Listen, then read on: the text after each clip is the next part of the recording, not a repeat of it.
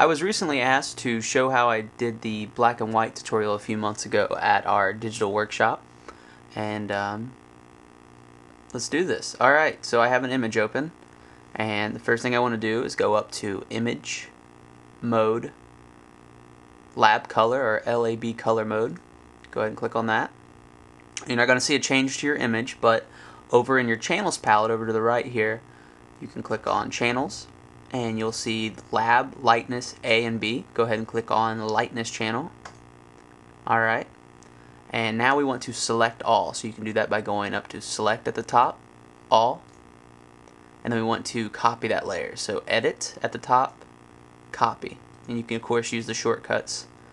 Alright, so now I've copied that layer. Now we're done with lab color mode. So we can go back up to the top image mode RGB color, select that. Alright, you should see your image go back to color. Now over in the channels palette, you'll see that your, your channels have changed. So what we're going to do now is we're going to paste that lightness channel that we just copied into the red, green, and blue palettes. So go ahead and click on, I mean channels, excuse me. Click on red, and now we're going to go to edit, paste, and we're going to do the same thing for green, edit, paste, and blue. Edit, paste. Okay, so now we've pasted that into all of it.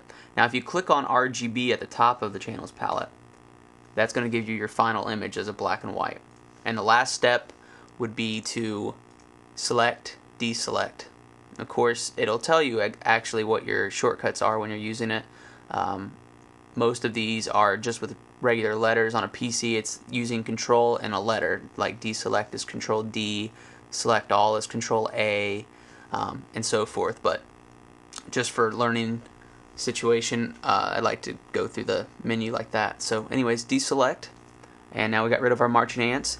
And then the final step, if, if you so desire, I mean this is the most neutral image, but if you would like to add more contrast, you can go up to image adjustments.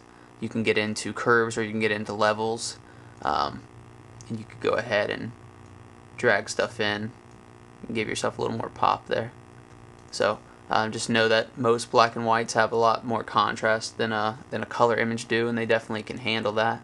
Um, just watch your whites and stuff, make sure you're not blowing anything out. But that is it. Um, I would recommend highly to create that into an action so you don't have to do all those steps every time. And um, just watch my tutorial on creating an action if you'd like to do that. Thank you.